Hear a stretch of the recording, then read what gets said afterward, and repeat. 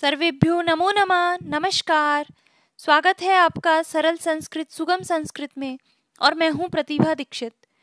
इस वीडियो में हम श्रीमद् भगवत गीता से संबंधित 40 महत्वपूर्ण प्रश्नों को देखने वाले हैं। ऐसे प्रश्न जो परीक्षा में पूछे गए हैं, इसके अतिरिक्त ऐसे प्रश्न जिनके पूछे जाने की संभावना बहुत अधिक है, उन सभी प्रश्नों को इस वीडियो में हम देखने वाले हैं। तो आइए प्रारंभ करते हैं। पहला प्रश्न है, गीतानुसार स्थित थी। खाली स्थान उच्चते रिक्त स्थान की पूर्ति कीजिए कि स्थित थी ऋषि, साधु, पंडित या मुनि? स्थित थी को क्या कहा गया है गीता में? स्थित थी मुनि ही उच्चते तो। इसका सही उत्तर होगा ऑप्शन चार। दूसरा प्रश्न है, न एनम छिंदंती शस्त्राणी, न एनम दहती पावक। यह पंक्ति किसके विषय में कही गई है? कर्म, ज्ञान, आत्मा या अर्जुन? किसके विषय में ये कहा गया है? आत्मा के विषय में, कि ना तो इसको शस्त्र काट सकते हैं, न आग जला सकती है। तीसरा प्रश्न है, न कर्म लिप्यते नरे। इस वाक्य में किस कर्म का वर्णन है? ज्ञान कर्म, आसक्त कर्म, अनासक्त कर्म, या फिर यज्ञ कर्म? तो किस कर्म का वर्णन इसके अंतर्गत है? अनासक्त कर्म का। चौथा प्रश्न है, क्रोध से होता है अनुराग, संतोष, सम्मोह या स्नेह? तो क्रोधात सम्मोह जायते। तो इसका सही उत्तर होगा ऑप्शन तीन। पांचवा प्रश्न है, स्थित प्रज्ञस्य का भाषा? यह किसने किससे पूछा? धृतराष्ट्र ने संजय से, अर्जुन ने कृष्ण से, अर्जुन ने कृष्ण ने अर्जुन से या युधिष्ठिर ने कृष्ण से? तो स्थित प्रज्ञ के विषय में किसने अपनी जिज्ञासा प्रकट की? अर्जुन ने श्री कृष्ण से स्थित प्रज्ञ के विषय में पूछा कि वो कैसा होता है, किस प्रकार का वो व्यवहार करता है, ये मुझे बताइए। तो इसका सही उत्तर होगा ऑप्शन दो। छठा प्रश्न है, क्रोधात भवती सम्मोह, सम्मोहात स्मृति विभ्रम। यह पंक्ति कहाँ से ली गई है? तो ये पंक्ति पंचतंत्र से, रामायण से श्रीमद् भगवद गीता से या ईशावास्योपनिषद से। तो यहाँ पर तो आप निश्चित रूप से बता पा रहे होंगे, लेकिन परीक्षा में जब डेढ़ सौ प्रश्न एक साथ आएँगे तो वहाँ पर आप कंफ्यूज हो सकते हैं। तो याद रखिए, ये जो कहा गया है कि क्रोध से सम्मोह होता है, सम्मोह से स्मृति विभ्रम होता है, पूरी एक श्रृंखला है। तो ये कहाँ पर कहा गया है? श्रीमद् भगवद गीता से ली गई है ये पंक्ति। श्रीमद् भगवद गीता में ऐसा कहा गया है। सातवां प्रश्न है, श्रीमद् भगवद गीता के अनुसार अव्यवसायी बुद्धि किस प्रकार की होती है। बहुशाखा अनंत, बहुशाखा एवं अनंत या फिर एक। तो जो अव्यवसायत्मिका बुद्धि होती है, अव्यवसायी बुद्धि होती है, वो बहुशाखाओं वाली और अनंत होती है तो इसका सही उत्तर होगा ऑप्शन तीन। आठवां प्रश्न है भगवत गीता के अनुसार स्थित प्रज्ञ कौन कहा जाता है? कर्मयोगी, निष्काम कर्मयोगी ज्ञान योगी या बुद्धिमान? किसको स्थित प्रज्ञ कहा गया है? निष्काम कर्मयोगी को स्थित प्रज्ञ कहा गया है। नवा प्रश्न है, भगवत गीता महाभारत के कौन से पर्व में है? प्रथम, द्वितीय, चतुर्थ या षष्ठ पर्व? तो कौन से पर्व में है महाभारत के? षष्ठ पर्व में। तो इसका सही उत्तर होगा ऑप्शन चार। देखिए, अभी तक ये जो आठ प्रश्न आपने देखे हैं, ये पहले की परीक्षाओं में आ चुके हैं। मैंने सीधा प्रश्न पत्रों से ही इनको लिया है। तो ये महत्वपूर्ण है। देखिए, इसी तरीके के प्रश्न बार बार पूछे जा रहे हैं। ये क्रोध से संबंधित, स्थित प्रज्ञ से संबंधित। तो इन विषयों को आप गीता के संबंध में अच्छे से ध्यान रखिए। चलते हैं अगले प्रश्न की तरफ़। दसवां प्रश्न है, भगवत गीता में कितने अध्याय एवं कितने श्लोक हैं? अठारह अध्याय छह सौ बहत्तर श्लोक अठारह अध्याय सात सौ श्लोक, पच्चीस अध्याय सात सौ बहत्तर श्लोक या बयालीस अध्याय सात सौ बहत्तर श्लोक। तो क्या इसका सही उत्तर होगा? ऑप्शन दो, अठारह अध्याय और सात सौ श्लोक गीता के अंतर्गत वर्णित हैं। ग्यारहवा प्रश्न है, निम्न में से कौन सा श्री कृष्ण के लिए प्रयुक्त संबोधन नहीं है? सव्यसाची, ऋषिकेश, अरिसूदन और केशी निशूदन तो क्या इसका सही उत्तर होगा? ऑप्शन एक, सव्यसाची श्री कृष्ण का अपर नाम नहीं है, उनको इस नाम से संबोधित नहीं किया गया है गीता के अंतर्गत। बारहवा प्रश्न है। निम्न में से कौन सा गीता में अर्जुन के लिए प्रयुक्त संबोधन नहीं है? धनंजय, गुड़ाकेश, पुरुषरसव और ऋषिकेश। तो अर्जुन के लिए क्या प्रयुक्त नहीं हुआ है? ऋषिकेश, क्योंकि ये श्री कृष्ण का संबोधन है, अर्जुन का नहीं। तेरहवा प्रश्न है अहम युद्धे भीष्म च द्रोणम प्रति कथम इशु भी योतश्यामी यह कथन किसने कहा? कौन ऐसा कहते हैं? तो ये कहते हैं श्री कृष्ण नहीं, अर्जुन। अर्जुन कहते हैं श्री कृष्ण से कि कैसे मैं युद्ध में भीष्म के, द्रोण के प्रति लड़ूँगा, ये आप मुझे बताइए। तो ये कथन है अर्जुन का। चौदहवा प्रश्न है संसार में भिक्षा का भोग करना किसका वध करने से अधिक श्रेयस्कर है? किसके विषय में ऐसा कहा गया है कि उसका वध करने से तो अच्छा है कि मैं इस धरती पर रहकर भिक्षा का भोग करूँ, भिक्षा से अपना जीवन यापन करूँ? गुरु भ्रत्य पुत्र या फिर सभी? तो इसका सही उत्तर होगा ऑप्शन एक गुरु के वध से श्रेष्ठ है कि इस पृथ्वी पर रहकर मैं भिक्षा का भोग करके अपना जीवन यापन करूँ, ऐसा अर्जुन कहते हैं। तो इसका सही उत्तर होगा ऑप्शन एक। पंद्रहवा प्रश्न है शरीर की कितनी अवस्थाएँ होती हैं? चार, पाँच, तीन या दो? तो गीता के अनुसार शरीर की कितनी अवस्थाएँ मानी गई हैं? तीन, कुमार, यौवन और जरा। सोलहवा प्रश्न है, किसका अभाव नहीं होता? सत का, असत का, दोनों का या शाश्वत का? तो किसका अभाव नहीं होता? गीता में एक पंक्ति भी है, प्रसिद्ध पंक्ति है वो। सत का कभी अभाव नहीं होता तो इसका सही उत्तर हो जाएगा ऑप्शन एक। किसका भाव नहीं होता? सत का, असत का दोनों का या शाश्वत का? तो असत का भाव नहीं होता और जो सत है उसका कभी अभाव नहीं होता। न असतो विद्यते भावो, न अभावो विद्यते सतः। अठारहवा प्रश्न है, आत्मा नहीं है। अज अनित्य, शाश्वत और पुराण।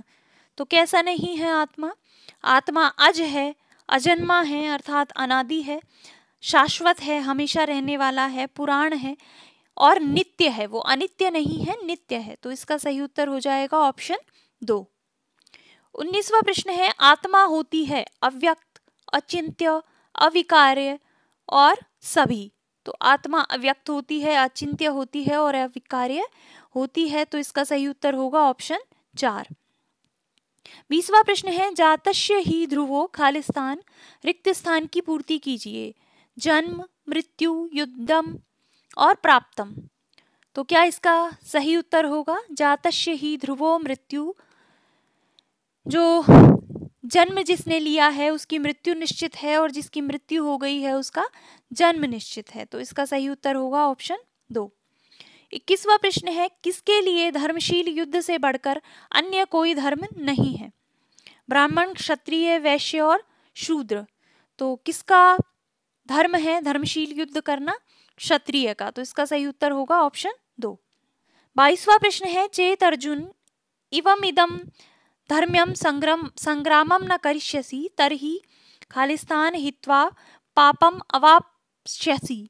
रिक्त स्थान की पूर्ति कीजिए। क्या यहाँ पर आएगा कि अगर तुम जो धर्म से तुम्हारे लिए संग्राम निहित है जो धर्म तुम्हारे लिए बताया गया है युद्ध रूपी धर्म। अगर तुम उसको नहीं करोगे तो किसको छोड़कर तुम प्राप को प्रा, पाप को प्राप्त करोगे? कीर्ति को हित्वा। कीर्तिम हित्वा पापम अवाप्यसी तो इसका सही उत्तर हो जाएगा ऑप्शन तीन। खालिस्तान में क्या आएगा? कीर्ति। तेईसवा प्रश्न है, खालिस्तान संभावित मरणात अतिरिच्यते। तो यहाँ पर रिक्त स्थान की पूर्ति करनी है। कीर्ति, अकीर्ति, जन्म या लाभ। तो यहाँ पर सही ऑप्शन है ऑप्शन दो। अकीर्ति संभावित मरणात अतिरिच्यते कि अपयस, जो संभावित पुरुष है, जो मानी पुरुष है, स्वाभिमानी पुरुष है, उसके लिए अकीर्ति अपयश मरण से भी बढ़कर होता है। अपयश से बेहतर है कि वो मर जाए। तो यहाँ पर सही उत्तर होगा ऑप्शन दो। चौबीसवा प्रश्न है, भगवत गीता के अनुसार बुद्धि के कितने भेद होते हैं? दो, तीन, चार या पाँच? तो व्यवसायत्मिका और अव्यवसायत्मिका, व्यवसायी बुद्धि और अव्यवसायी बुद्धि दो प्रकार के भेद बुद्धि के बताए गए हैं। पच्चीसवा प्रश्न है, यदा मनोगतान सर्वान कामान प्रजहाति, तदा आत्मना एव आत्मनि तुष्ट। इस प्रकार का पुरुष क्या कहलाता है? योग स्थित प्रज्ञ सांख्य योग सांख्य योग और अस्थित प्रज्ञ तो क्या कहलाता है इस प्रकार का पुरुष? स्थित प्रज्ञ यहाँ पर ये मैंने थोड़ा प्रश्न लिखने में गड़बड़ कर दी, अगर मैं ऑप्शन इस तरह से देती कि ये क्या कहलाता है? किसको कहा जाता है इस प्रकार का? किसके विषय में कहा गया है? तो आप कंफ्यूज हो सकते थे। अब यहाँ पर पुरुष देखकर तो आप कॉमन सेंस से भी उत्तर दे सकते हैं। स्थित प्रज्ञ इस प्रकार का होता है, जो मन में आए हुए सभी कामों को छोड़कर अपने से अपने में ही संतुष्ट रहता है। ऐसा जो पुरुष है, वो स्थित प्रज्ञ कहलाता है, स्थित धी स्थित बुद्धि कहलाता है। छब्बीसवा प्रश्न है, कामात कह अभिजायते? क्रोध, मोह, संदेह, मोक्ष, काम से क्या उत्पन्न होता है? कामात क्रोध अभिजायते। तो इसका सही उत्तर होगा ऑप्शन एक। देखिए, गीता के संबंध में मैंने हिंदी में प्रश्न लिख दिए हैं, लेकिन गीता में जो कन्फ्यूज़न होता है ना, हो सकता है आपको कॉन्सेप्ट आते हों, लेकिन जो प्रश्न पूछे जाते हैं इसमें उसमें प्रश्न पूछे जाने के जो संस्कृत का तरीका है, उस संस्कृत में आप कंफ्यूज हो सकते हैं। अगर आप सही से उस प्रश्न को समझ नहीं पाए तो ऑप्शन इस तरीके के दिए जाते हैं कि आप कंफ्यूज हो जाएँ और आप उत्तर गलत कर दें। मैं स्वयं ये गलती कर चुकी हूँ कि प्रश्न को मैं भली भांति समझ ही नहीं पाई कि क्या कहना चाहते हैं, क्या पूछना चाहते हैं। तो गीता के विषय में चूँकि इसका द्वितीय अध्याय सेकंड ग्रेड के सिलेबस में सम्मिलित है, इसलिए अगर आप सेकंड ग्रेड के विद्यार्थी हैं और ये वीडियो देख रहे हैं, या जिस भी परीक्षा में भगवत गीता का द्वितीय अध्याय सम्मिलित है तो उन विद्यार्थियों को मैं ये कहूँगी कि आप द्वितीय अध्याय के बेहतर श्लोकों को अच्छे से दो तीन बार पढ़ डालिए, क्योंकि आपको संस्कृत की पंक्तियाँ आना बहुत ज़रूरी है, जिससे आप वहाँ पर प्रश्न को समझें और सही उनका उत्तर दे पाएँ। तो संस्कृत में अगर मैं प्रश्न देती तो यहाँ पर ज़्यादा बेहतर होता, लेकिन अभी मैंने हिंदी में दे दिए हैं, आगे कभी हम देखेंगे तो वहाँ पर हम संस्कृत में बात कर लेंगे। अभी चलते हैं अगले प्रश्न की तरफ़। सत्ताईसवा प्रश्न है, प्रमथ स्वभाव होता है। किसका? आत्मा का, क्षत्रिय का, स्थित प्रज्ञ का या इंद्रियों का? तो प्रमथ स्वभाव वाले कौन होते हैं? प्रमथ स्वभाव वाली होती हैं इंद्रियाँ जो कि मन को हर लेती हैं। तो इसका सही उत्तर होगा ऑप्शन चार। अट्ठाईसवा प्रश्न है, गीता के द्वितीय अध्याय का क्या नाम है? अर्जुन विषाद योग, निष्काम कर्म योग, सांख्य योग या कर्म योग? तो द्वितीय अध्याय का क्या नाम है? सांख्य योग। उनतीसवा प्रश्न है, गीता के द्वितीय अध्याय में कितने श्लोक हैं? बेहतर चौहत्तर, छिहत्तर और अठहत्तर। तो कितने श्लोक हैं? अभी मैं आपको बता चुकी हूँ कि इसके द्वितीय अध्याय में बेहतर श्लोक हैं।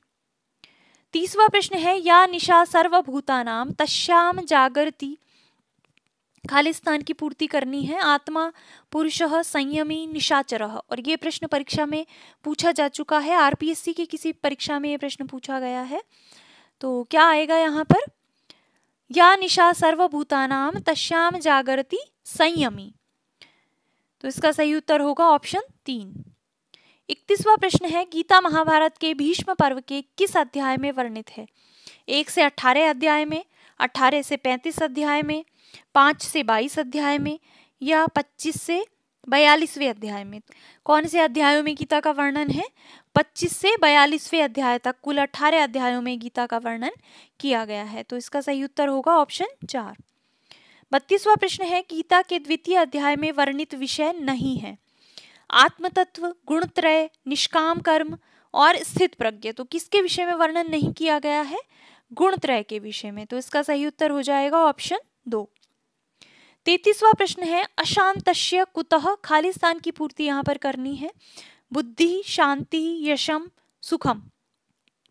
तो अशांत कुतः? सुखम। अशांत को सुख कहाँ है? तो इसका सही उत्तर होगा ऑप्शन चार। चौतीसवा प्रश्न है, अधोलिखित में से शुद्ध वाक्य है। इसमें देखिए, दो तरीके से आपकी परीक्षा है, एक तो आपको सही शब्द रूप आने चाहिए तो आप प्रश्न सही कर सकते हैं, और दूसरा, अगर आपने गीता को अच्छे से पढ़ा है और आपको पद्य याद है तो आप इस प्रश्न का सही उत्तर दे सकते हैं। तो इनमें से शुद्ध वाक्य कौन सा है? योगो कर्मशु कौशलम, योग कर्मेशु कौशलम, योग कर्मेशु कौशलम, योग कर्मसु कौशलम। तो इसका सही है उत्तर ऑप्शन चार, योग कर्मसु कौशलम।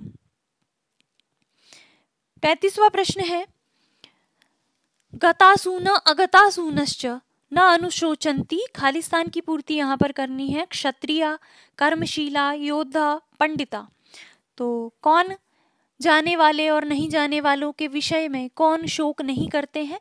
पंडित लोग। गताशून, अगताशूनश्च न अनुशोचंती पंडिता तो इसका सही उत्तर होगा ऑप्शन चार। छत्तीसवा प्रश्न है, न च एनम क्ले क्लेदयंती खालिस्तान की पूर्ति यहाँ पर करनी है। तो शस्त्राणी, पावक, आप, मारुत। न च एनम क्लेदयंती आप। तो इसको जल भी गीला नहीं कर सकता। किसके विषय में कहा गया है? आत्मा के विषय में। तो यहाँ पर सही ऑप्शन हो जाएगा ऑप्शन तीन।